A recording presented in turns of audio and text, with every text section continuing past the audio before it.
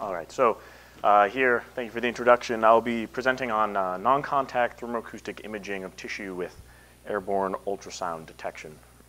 Now, uh, in the imaging field, uh, one highly desirable uh, ability is to do non-contact imaging. This is where the, the instrument uh, or the sensor has some standoff distance from the patient in the case of medical imaging and doesn't actually need to make any contact. Uh, this will speed up point of care, be less invasive uh, for patients, uh, be more convenient. Um, and it's, it's a difficult problem in its own right. Uh, in addition to imaging of tissue, has its own challenges as well. Now, traditional imaging techniques uh, are, are insufficient for the entire non-contact uh, tissue imaging that we'd like to do all in some way. Acoustic mechanical methods require some kind of contact with the target. We have microwave optical methods are um, they have a, a coupling between their frequency and their, their bandwidth or resolution, as well as uh, frequency, uh, a trade-off between resolution and penetration depth. Uh, other systems that uh, you know, give good contrast and, and good imaging, such as MRI, maybe will also be large and bulky, uh, expensive, and uh, not easily portable. So if we focus on two of these existing imaging techniques, we look at microwave imaging has good dielectric contrast. Um, you know, the uh, dielectric uh, properties of the tissue strongly influences the way electromagnetic radiation is absorbed, producing signals. But it does have, like I mentioned, a resolution limited by wavelength and a trade-off between resolution and penetration depth. Now, ultrasound imaging, of course, uh, we know well in this room, has a high resolution but limited contrast in, um, when it concerns tissue. Now, Using microwave-induced uh, thermoacoustics, we hope to combine these two advantages to have a, a system that can uh, measure tissue but also uh, at some standoff distance uh, non-contact. Now, microwave-induced uh, thermoacoustic imaging, of course, is governed here by the thermoacoustic wave equation relating the pressure P with some heating function Q. In the case of the microwave-induced technique, as opposed to probably a more familiar photoacoustic technique, we just use some you know, broadband microwave excitation in the RF frequency range, a couple gigahertz, uh, to generate stress waves uh, from the heating and absorption of that microwave power at uh, dielectric tissue interfaces that have contrast. So first, uh, some microwave excitation would hit a um, maybe uh, some abnormal tissue with dielectric contrast to the surrounding healthy tissue and cause differential heating and expansion in those two and that differential heating and expansion then causes some pressure wave uh, at ultrasound frequencies that can then propagate out through the air tissue interface uh, through the air to a uh, detector at a standoff. Now, the, one of the critical challenges for non-contact detection becomes the acoustic impedance mismatch between uh, human tissue and air, or really any lossy media and air, uh, where we see a, a 65 dB acoustic interface at that air tissue boundary. Now, that means we're detecting very small pressures uh, that have been attenuated by that boundary. Uh, we do that with uh, airborne CMUTs. Now, CMUTs is, again, probably familiar in this room, but it measures capacitance changes on a thin vibrating plate. Now, that plate has a very low mechanical impedance, which makes it well matched to air and gives us a very high sensitivity. Uh, the devices we use, shown here in the top right, uh, mounted into a package that we use in our system, uh, are vented to air through the substrate uh, which also produces some squeeze film damping effects that increase the bandwidth to make it a little more useful for imaging uh, as opposed to simple detection. Now we have previously shown uh, devices uh, here characterized, you see the frequency response is around 72 kilohertz center frequency, and that's something we use in the rest of this talk here. But we've shown them with 1.3 picometer minimum detectable displacement uh, at the face of the device, that thin vibrating plate, which corresponds to 240 micropascals of pressure a very sensitive device that we can use to pick up even the attenuated signals from that 65 dB interface loss. Uh, they are around 3.5% bandwidth, which for an imaging application is quite, quite low.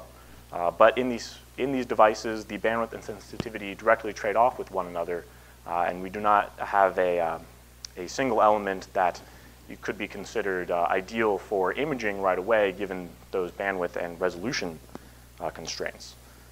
So using the device that we have, we do a detection experiment shown here where we have a, a agar tissue phantom that we have uh, mixed to match the both the dielectric and acoustic properties of soft tissue, such as muscle or fat. We pour it into a plexiglass container with one open face. We allow it to set into a gel with some target embedded. The target will be some low loss, low dielectric material that produces uh, contrast at the interface. Uh, then we have a open-faced waveguide that brings our microwave excitation and RF frequency ranges.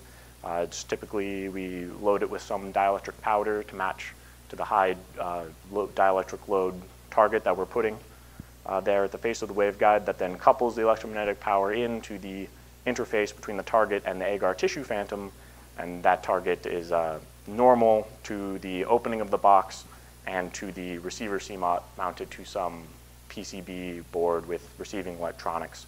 Uh, again, at some standoff there, giving non-contact uh, reception of the ultrasound signal uh, and non-contact excitation from the waveguide. So we have some experimental results here using that setup I just described. There's a few more dimensions noted on the figure if you are curious. And the input power we're using is around 5 watts average power and 1.7 kilowatts peak. Uh, but we have here, I've windowed out the uh, excitation and the, uh, the waiting time for the pulse to arrive. But the arrow here represents the onset of the signal that corresponds to the range delay from the transducer at a standoff uh, to that target face. Um, now here, you see after the onset of the pulse, there are acoustic multipath and other reverberations that come from the uh, geometry of our, our, setup here. The plexiglass container has multiple paths for the ultrasound to travel around. But if you look at that, uh, the first onset of that main pulse, it has poor resolution anyways. Uh, as I mentioned before, the low bandwidth of the devices from the trade-off with the sensitivity we require to perform the detection at all. Now, kind of the traditional um, definition of bandwidth uh, does relate the minimum detectable uh, resolution delta R uh, with through the speed of sound to the bandwidth. Um, and as our low bandwidth devices yield poor image resolution. Now, before we have some better optimized device that can act as an element in its own right, we come up with a synthetic solution uh, to access multi-frequency devices, multiple CMUTs with multiple excitations to recover some spectral information as an SFCW techniques, where we can then try to resolve the time domain signal through some inverse FFT, for example, uh, doing coherent processing. And we've done some theoretical work and some simulations to show that with n frequencies, we can resolve the time delay to n minus one interfaces, each producing their own thermoacoustic signals. So you imagine in the setup we showed before, even with that simple one target, we have two interfaces producing signal, one at the front, one at the back, and with multiple excitations from multiple CMUTs with different operating frequencies, uh, we're able to um, do some you know, SFCW multi-frequency radar techniques to uh, synthesize the location of both of those interfaces. And to that end, we fabricated several other devices. Here again, we're showing the characterizations that were done with a linear Doppler vibrometer, and then we also did some pitch catch measurements using pairs of devices to come up with the minimum detectable pressures and displacements, and again, perform the same signal. As you can see here, the sensitivities of these devices are slightly different, but they were able to detect the thermoacoustic signal coming out of our setup shown before with the same multipath and reverberations uh, and you know, kind of showing the, the poor resolution of these devices. Now, in order to use the phase information that we collect from these multiple devices, as you see here in the top right, we want to take the spectra of the received signal and read off the phase at the, the various uh, center frequencies of each, each device. In order to do that, we need stable phase information. So we performed several experiments first. In the bottom left here, uh, this scale is 0 to 360 degrees, showing one full 2 pi interval. And those traces represent uh, hundreds, thousands of measurements uh, over the course of several hours in the lab from one stationary target. Say this diagram here, the interface with the bottom of a container with the RF excitation launched uh, immediately in line with the uh, transducer. Now that shows that a total of about 14 degree variation corresponding here to 184 micrometers uh, of error of measured from our setup, including all of the triggers and you know, the various phase delay and the measurement components uh, kind of characterizes the sensitivity to phase of our whole system. And then again, just to confirm that that phase information was coming from some associated delay with an interface that was creating a thermoacoustic signal, we then put it on a linear stage and swept it down and back through uh, several positions um, with a very accurate linear stage that we could measure the precise distance and then compare each of those measured points on the bottom right in red with error bars corresponding to that 14 degree variation and compared it to the uh, expected phase from the delay associated with those distance changes. Now, having all of that, we'd like to perform a lab demonstration to show uh, the uh, actual, you know, uh, actual results um, using that phase information to detect something. Now, we have two frequencies available in our lab setup, so we cannot measure the front and back of that one target at the moment, but say we can measure uh, one interface. There is also another problem of unknown position errors between our various receivers and the CMUTs. And to get rid of those, we either need some kind of very accurate uh, measurement capabilities, or probably more likely what we'll do is fabricate an array of devices uh, all together on the same chip to have the same distance. Now, as a proxy for not having any of that, we instead measure twice two locations that have some unknown position error, but it's the same at each stage, measured again, mounted onto a accurate linear stage. So each result gives us some biased delay measurement to the one interface we're trying to measure. Now, if we take both of those, they haven't been moved by an accurate five centimeter offset, uh, we hope to resolve that five centimeters. So we performed this experiment with the 72 kilohertz and 106 kilohertz center frequency devices, again around three centimeters bandwidth, which gives them, for instance, you know, greater than 10 centimeters, almost 40 centimeters of resolution in the traditional sense. But with uh, a microwave excitation of 10 pulses at the 1.7 kilowatts peak power, averaged 1,000 times, we're able to collect sufficient information, process it with you know, the SFCW techniques uh, you may be familiar with out in the literature, and found a 2% error in the calculation of that 5 centimeter uh, fixed displacement that we had programmed into our measurement setup.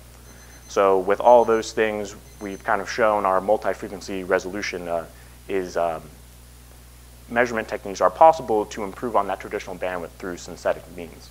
So we have microwave-induced thermoacoustic signals created at dielectric contrast interfaces, high sensitivity CMUTs to detect them, they can be future optimized to be imaging elements in their own right, but having multiple center frequencies, we can do SFCW and multi-frequency radar techniques to uh, improve on the resolution even going forward. So uh, thank you very much for your time.